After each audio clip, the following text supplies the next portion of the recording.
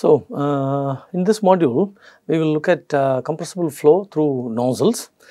Uh, now, compressible flows are encountered in many applications, um, mostly in aerospace and mechanical engineering. For example, flow through nozzles, uh, flow through turbomachinery blade passages such as uh, compressors or turbines uh, and diffusers and uh, compressible flow is also encountered in external aerodynamics like for example flow over uh, an airfoil or aircraft wing and so on, flow around aircraft and also flow through rocket engines. So, these are all uh, examples of uh, compressible flows in mechanical and aerospace engineering. Of course, for um, uh, aerospace engineers the working substance is always uh, air, but for mechanical engineers the working substance is not only air but also steam because uh, mechanical engineers have to typically work with uh, steam turbines and steam nozzles. So, uh, steam is a working substance that mechanical engineers encounter quite uh, frequently. In addition, gas dynamics of refrigerants is also important because um, as I had mentioned um, earlier, um, uh, in, in domestic refrigerators, capillary tubes are used as, um, as a throttling valve okay? And um, so the gas dynamics of flow in the capillary tubes is very important uh, in the design of such vapor compression refrigeration systems. So mechanical engineers will encounter air steam as well as uh, as well as a refrigerant as working substance whereas uh, aerospace engineers will encounter only air as the working substance okay? And um, the the scope uh, of um, our of the lecture in this module will be confined to uh, flow through nozzles okay? Because uh, flow through uh, as i said turbomachinery blade passages or um, flow through nozzles or diffusers uh, all uh, can be categorized into a simple quasi one dimensional flow category okay. Now of course detailed calculations can be made, but uh, once we learn um, quasi one dimensional flows or rather uh, flow through um, uh, varying area passages, then we would be able to apply this to most of the applications that we have in mind for a first cut analysis, which is usually very, um, very adequate, okay. So that is what we are going to do. So our uh, uh, scope is to look at flow through nozzles or uh, passages of um, uh, varying area of cross section. Okay.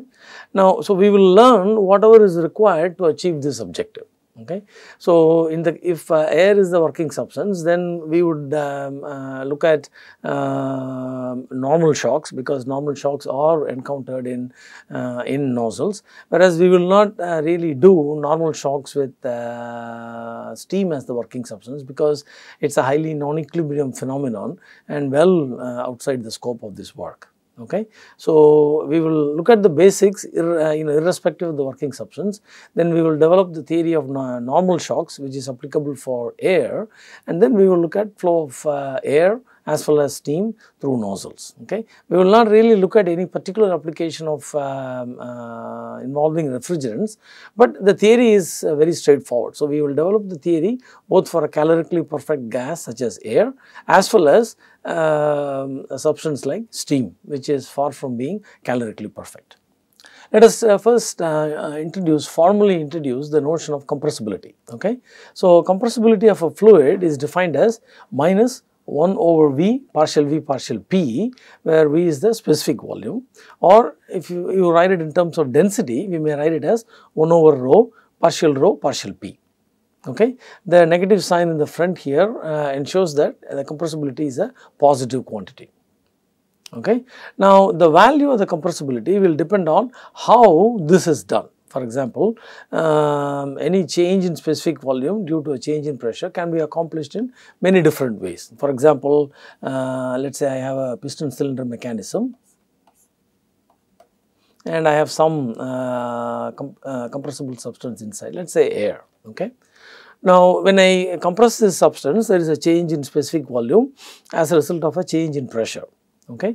But the magnitude of the change in specific volume due to the change in pressure will depend on whether the process takes place isothermally or whether the process takes place adiabatically or something else, okay. So, the process is also important. Okay, so based on that we may have something like an isentropic uh, compressibility or isothermal compressibility and so on. Now, let us take a uh, slightly broader look on, um, on this notion. We know that uh, specific volume V is a function of two properties. The two property rule applies in this case. There are uh, no other um, means or modes of energy storage. So, the two property rule applies and I may write uh, the expression for change in uh, specific volume due to uh, a change in pressure as well as a change in temperature. So, when specific volume of a compressible substance changes by a certain amount let us say dV, okay, part of it is due to uh, change in pressure, part of it is due to change in temperature that is what each one of this term here represents. Okay. Notice that because it is a function of two variables when you take the partial derivative automatically this quantity is evaluated at constant temperature and this quantity is evaluated at constant pressure. Okay. The first term here may be identified as compressibility as we just defined it. So, any change in specific volume due to a change in pressure alone is called uh, compressibility. Remember here it is due to a change in pressure alone because temperature is being kept constant. Okay. Now here uh, any change in specific volume due to a change in temperature alone remember P is being held constant is simply volumetric expansion. So, we have uh, let us say um, you know uh, air in a vessel or a room and we add heat. So, we heat the air then the uh, air expands as a result of heating it becomes lighter and the lighter air uh, will go up because the air is undergoing uh, volumetric expansion. So, that is what this term signifies okay change in specific volume due to a change in temperature alone okay now, notice that any change in specific volume due to a change in uh, temperature alone is not an indication of compressibility that is simply an uh, that is simply an indication of uh, volumetric expansion. Any change in specific volume due to a change in pressure alone is considered to be uh, an indication of compressibility. So, uh, when you have a flow and you start talking about compressible flow, there will be changes in density or specific volume. Okay. Now, the change in density or specific volume due to the uh, due to a change in pressure alone is considered to be an indication of compressibility. So, that is why we are starting with the notion of compressibility because that will naturally lead to compressible flow where compressibility effects are presumably uh, significant. Okay. So, in a compressible flow where compressibility effects are uh, significant, uh, changes in specific volume would be largely due to change in pressure. There could be a change in specific volume due to change in temperature also, but it will be largely due to change in pressure. Okay? Alright. Now, the isothermal compressibility of uh, water is 5 times 10 raised to minus 10 and the uh, isothermal compressibility of air at uh, both at 298 Kelvin. Um, for air it is 10 raised to minus 5. So, it is uh, clear that the uh, isothermal compressibility of air is 5 orders of magnitude more than that of water, not 5 times, but 5 orders of magnitude more than that of water. So, what are we to infer from this? Does this mean that uh, any flow of air uh, should be considered compressible? Will compressibility effects be dominant in such a flow? For example, I may look at flow of air over an automobile, I may be looking at flow of air over an airfoil or a wing, I may be looking at flow of air in a nozzle or flow of air in a turbomachinery blade passage uh, do we classify all these flows as compressible because the uh, isothermal compressibility of air is so high. Remember this is isothermal compressibility of air.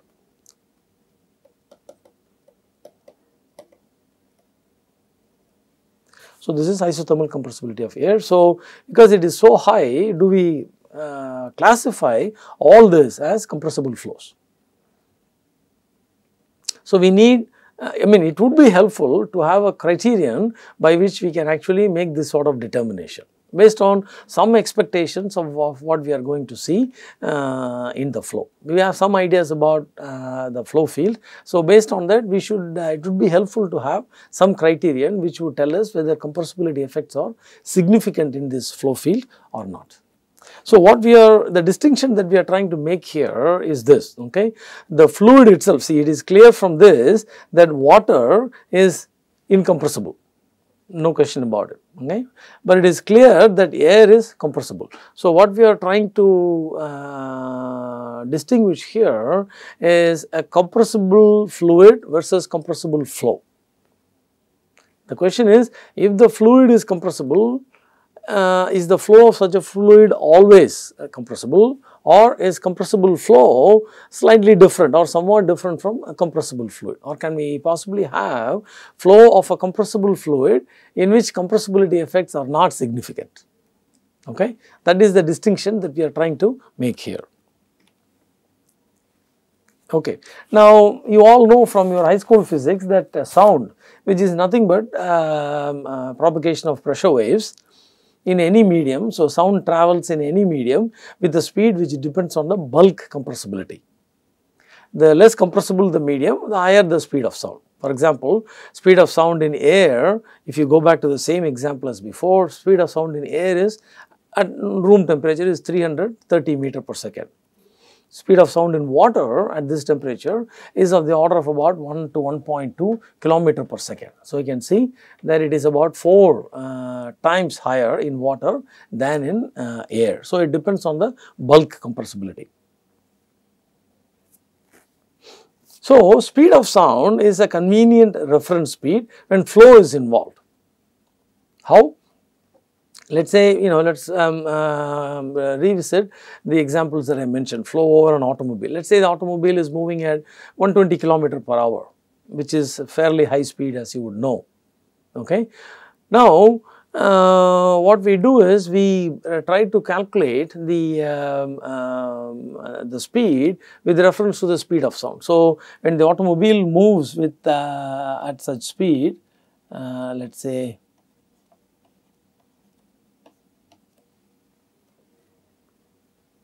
let us say it, uh, the automobile is moving at a speed of uh, 120 kilometers per hour uh, which would roughly um, uh, work out to about uh, 30 to 40 about 35 to 40 meter per second roughly okay?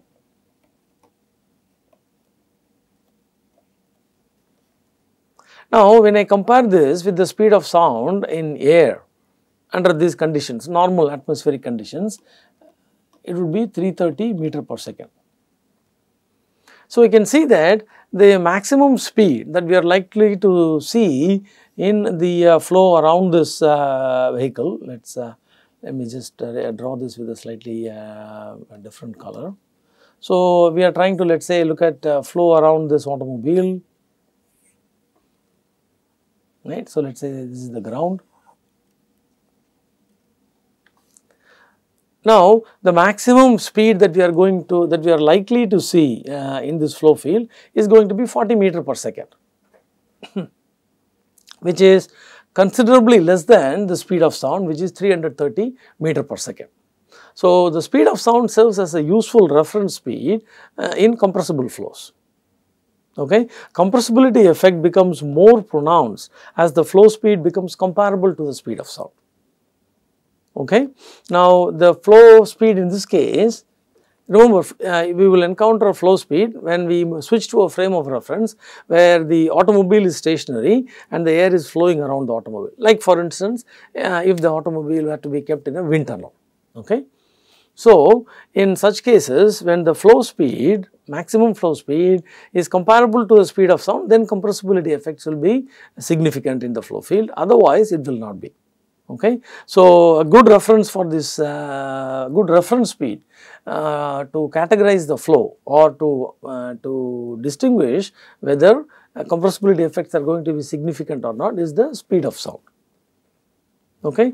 Now, we I also uh, gave some other examples like flow over an airfoil. So, the aircraft uh, may be flying at a speed of let us say uh, 800 to 900 kilometers per hour which would easily work out to at a very high altitude where the temperature may be of the order of about uh, 220 or 230 uh, Kelvin, okay, 240 Kelvin, something like that, right. So, this is at an altitude of maybe 35,000 feet, okay.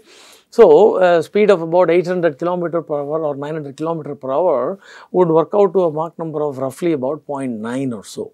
So, compressibility, compressibility effects would be very much significant. So, in the same manner, uh, we can make a determination whether compressibility effects are going to be substantial in the flow field in the blade passage of a compressor or a turbine by having an idea about the maximum speed that we are likely to encounter. It need not be accurate. We want to see whether um, the maximum speed is anywhere close to the speed of sound. Even if it is half of the speed of sound, we would then say that yes, probably compressibility effects may be, uh, may be significant. We will in fact give a number for doing this also, but you get the idea that you know as we get as the maximum speed in the uh, in the flow field uh, keeps getting closer to uh, the speed of sound, compressibility effects are significant.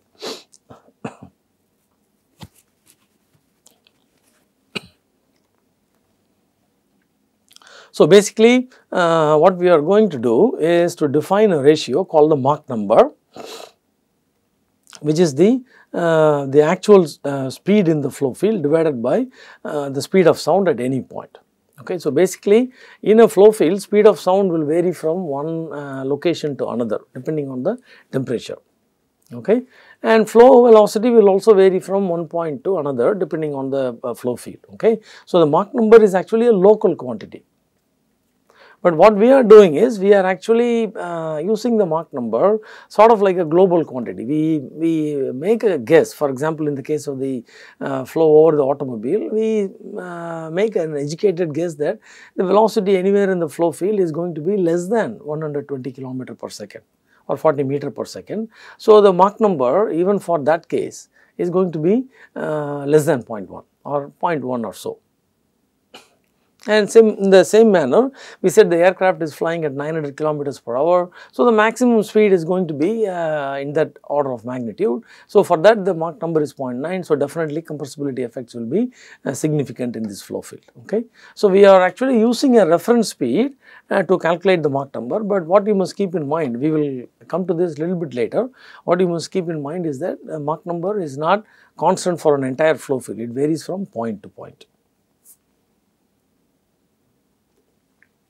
That is why we have emphasized it here. V is the velocity magnitude at any point or location and A is the speed of sound at that location.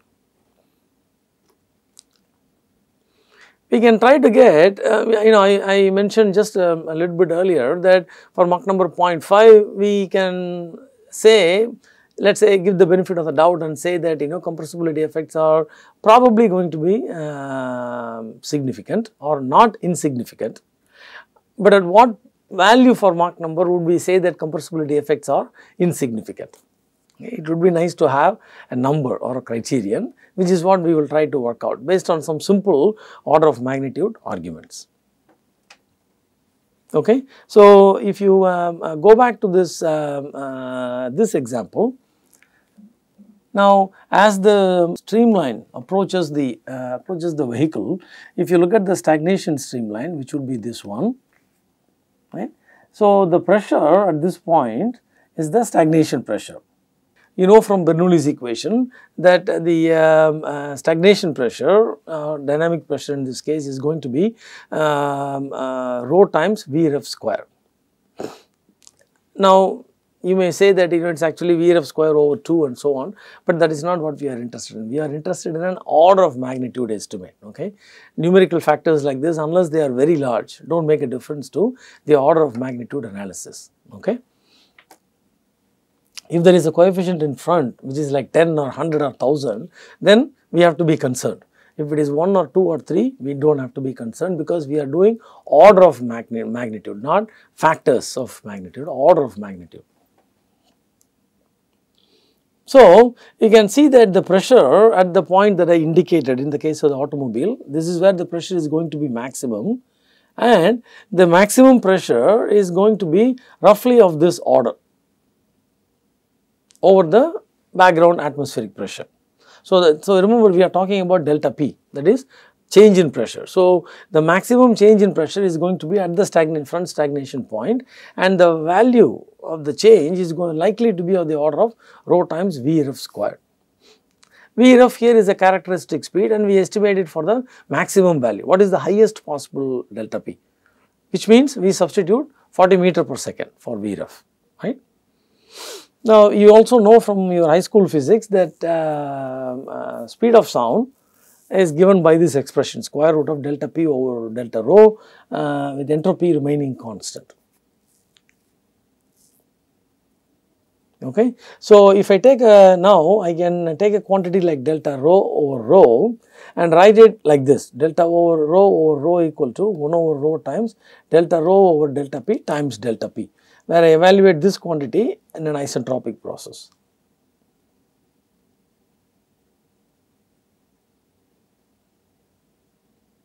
right. Now, delta p itself is equal to rho times V ref square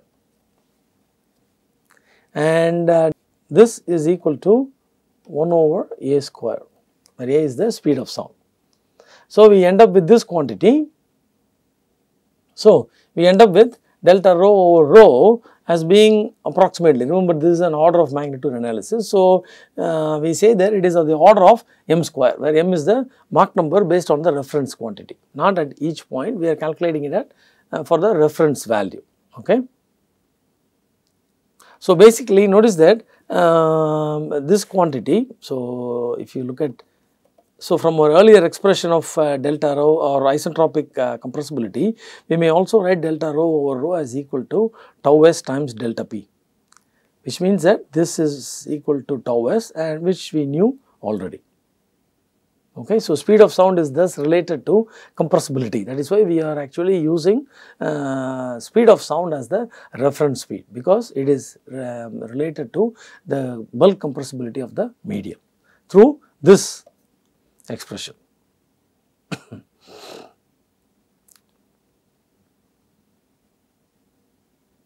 so, in fact, you can show that tau s is equal to, if you compare these two, you can show that tau, uh, tau s is equal to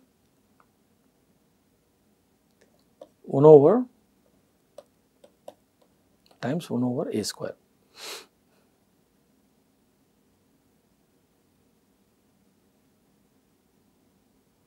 So, A is the speed of sound that is that is so the so you have velocity there whereas tau s is compressibility.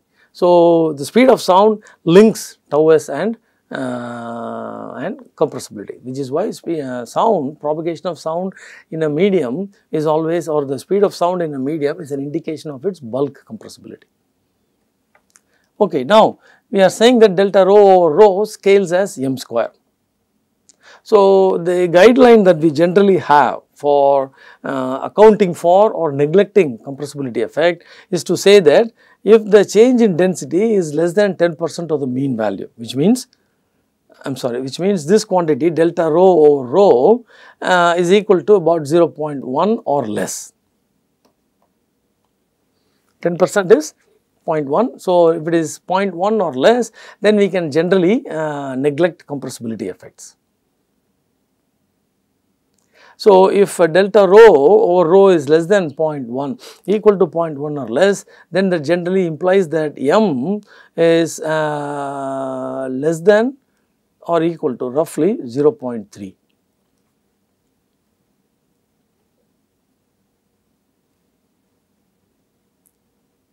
m is less than or equal to 0.3. So, compressibility effects as a guideline we can say compressibility effects may be expected to be significant only when the Mach number exceeds 0.3. This is again just a guideline okay and bear in mind that this is based on uh, general estimation. So, you may have a flow field let us say where Mach number uh, let us say we have flow over an airfoil or a wing or something like this. So, let us say m is equal to 0.3 so, it is quite possible that as the flow goes over the airfoil, there may be some locations in the uh, flow field where the Mach number is actually more than 0.3. that is quite likely. So, you have to uh, take this guideline value with uh, caution okay? You have to be very careful. You should have an idea about the flow field that you are looking at. If it is too close to 0.3 then it's certainly possible that there may be regions here where compressibility effects may be locally uh, be significant but not everywhere.